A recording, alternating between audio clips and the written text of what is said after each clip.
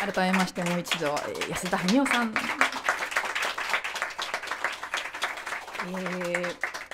最後までお付き合いいただきまして本当にありがとうございました。今日の、えー、このライブはですね、あのまあ、去年の年末にパタパタパタと決まった、えー、ライブで本当にご縁がなければ不思議なご縁がなければ今日はなかったんだなというふうに思いながら、えー、感慨深くおります。え、何しろですね私にとっては、えー、て言うんでしょうね。こう自分をとことん成長させてくださる方だなというふうに。はい。あの成長に成長っていうかねやっぱり本当にその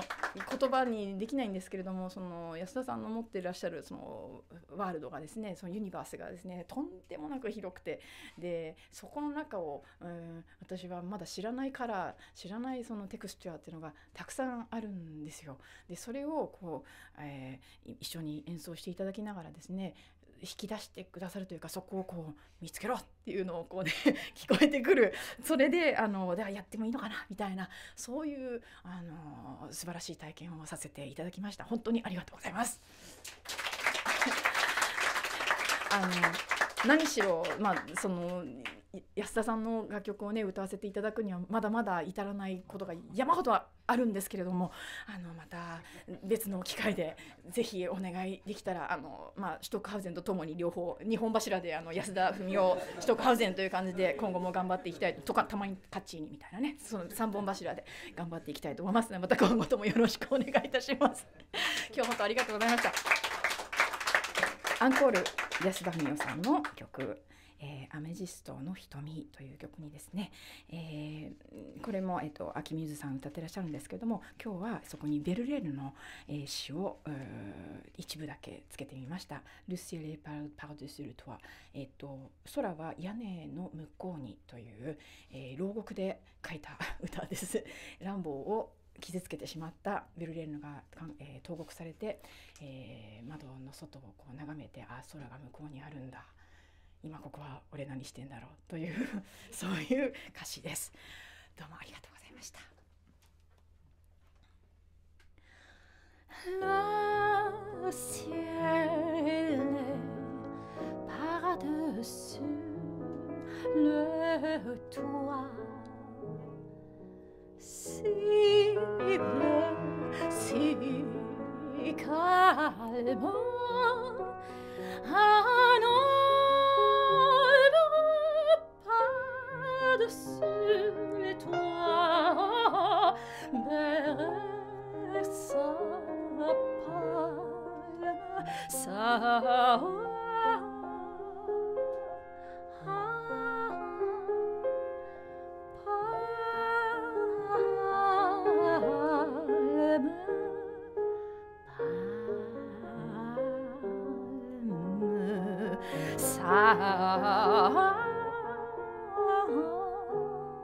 と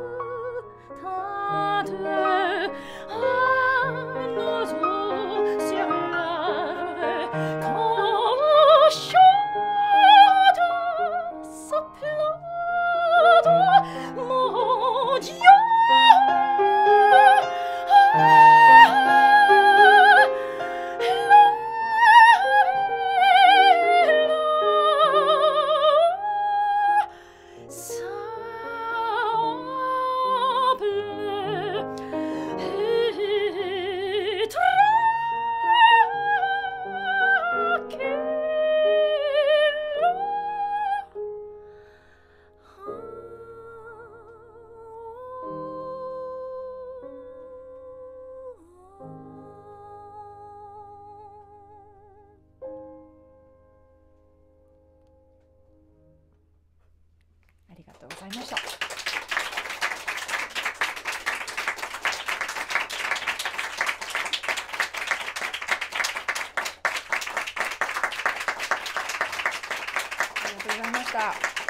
えーこちら出会わせてくださったエアジン梅さんにも感謝。そして、えー 吉田真奈子さんのいろんなご縁に本当に感謝します。えーまたまたお会いできる日を楽しみにしております。今日はありがとうございました。